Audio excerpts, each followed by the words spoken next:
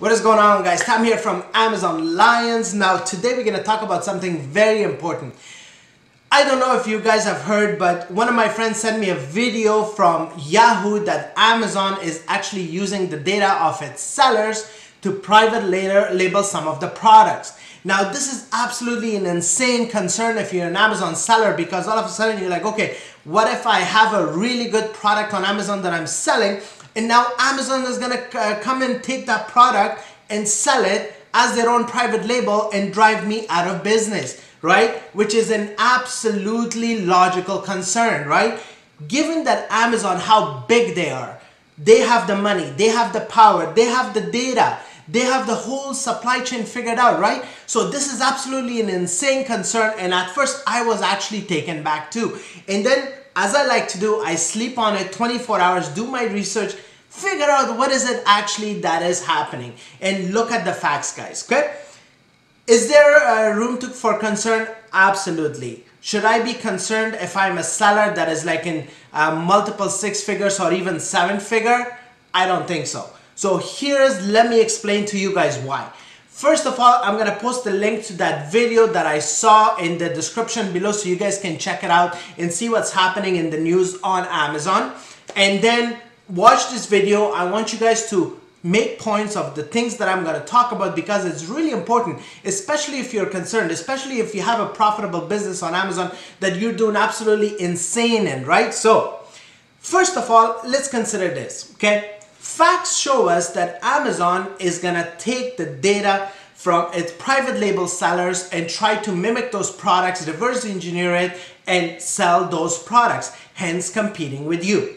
But what type of products are they looking into? What type of data are they looking into? Okay, the first thing is that they're looking at bestsellers. So they're looking at the cream of the crop. Like they are not going after sellers who are selling, let's say a product for 100 grand a month or 200 grand a month, 300 grand a month. No, none of that guys. They're going for the best of the best. These are like millions of dollars in sales that these sellers are doing. So if somebody is doing, let's say a few million dollars a year on a single product, that's the guy who should be worried.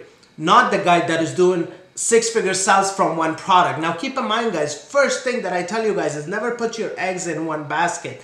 Have multiple products when you start on Amazon, build it up. Have four to five products. Now I have products that are selling $300,000 a year I'm not worried. I'm not worried because I know Amazon is not going to try to compete with me. They're going after the best of the best that are selling thousands of units per day, guys. They're not going after people who are selling like hundreds of units and stuff like that. So uh, from uh, just from looking at that data, I am not immediately worried, right? Now things could change. Amazon say, okay, now we've looked at our best sellers data, and now we're gonna look at different things. But you gotta understand that 1% of Amazon's uh, sales are private label sales. That's basically Amazon's own brand. 99% of it comes from sellers like you and me guys. Like it does not come from anywhere else. The reason that Amazon is a mammoth today is because of us. It's not because of themselves or the products that they could sell. Honestly guys, it's not about that. It's because we do the groundwork. Amazon does your pick and pack and shipping. That's their business. Pick, pack, warehousing, and shipping. They do not want to get into finding suppliers. They do not want to get into uh, finding products and stuff like that that are not worth their time. Amazon is not going to look into like really small products. Like if a guy is starting out, you're starting out today, right? You know you're going to make $5,000 a month on a product, which is basically, that's your sales, which is two and a half thousand per product in profit in your pocket.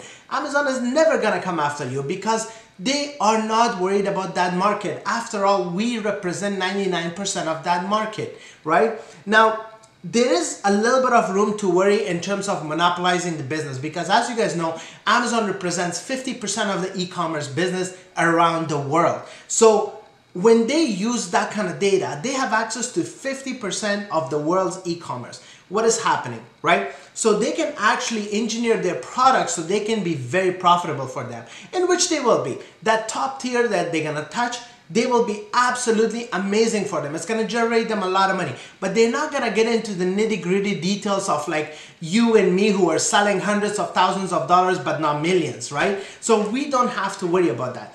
I know that news is all about fear mongering and trying to scare us, but I'm telling you guys, if this is something of a concern for you that is really standing the way of you getting on Amazon and selling, you should not be guys. Like i know that news always scares us. Oh my god amazon is taking over the seller's business. It's not really. We represent 99% of amazon. So therefore we uh, amazon will never take that away from us. Ever. Yes they will take the top tier because they know they can make money and a lot of money with that right but they will never take away that so the other thing is I want you guys to consider that we always, always, as sellers, try to bring quality products, right?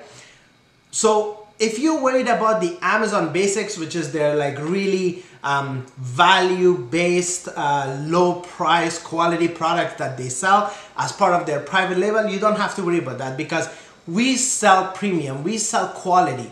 We do not want to sell the dollar store shit that actually breaks down after a few weeks we never want to get into products like that because that just ruins your business and your name guys as an Amazon seller. Nobody's gonna go. Once the word comes out the reviews kick in that you are not selling quality products nobody's gonna buy your shit. So that's why we never sell shit on Amazon. We always sell quality products. That's why we spend time to do proper product research. We spend time on Alibaba to find the proper suppliers when we are private labeling so that we can build a good sustainable business that's it guys, I just wanted to quickly touch base on this thing because it was really freaking out a lot of people.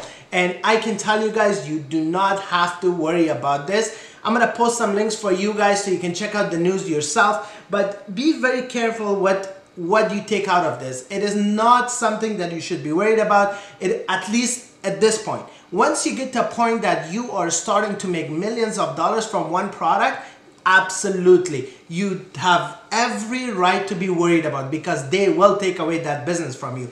If you are a seven figure, multiple seven figure seller on Amazon on a single product, I'm telling you guys your business is in danger because Amazon, you can never compete with Amazon. They got the funds, they got the data, they got the algorithm on their side. You think they're not going to use it to actually um, build a profitable business for their products, you're absolutely wrong. So if you're a multiple seven figure, be warned. But if you're not, I'm telling you guys, you guys are absolutely fine. It's absolutely okay to get on the e-commerce side of things with Amazon and start selling online. There is no problem there.